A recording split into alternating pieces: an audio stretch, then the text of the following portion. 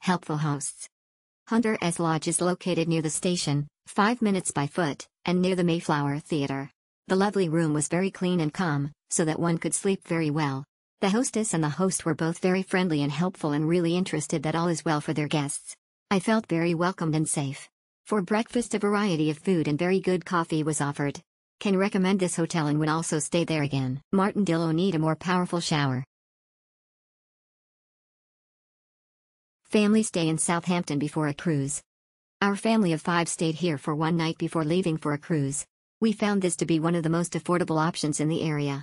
It was comfortable in walking distance to coach station, train station, and cruise terminal. Would stay again. Jackie. We really enjoyed our stay.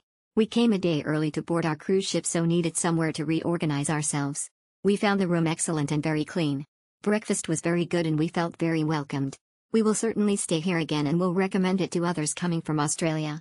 Thank you. Nice and friendly bed and breakfast We have stayed many times in this band and we like.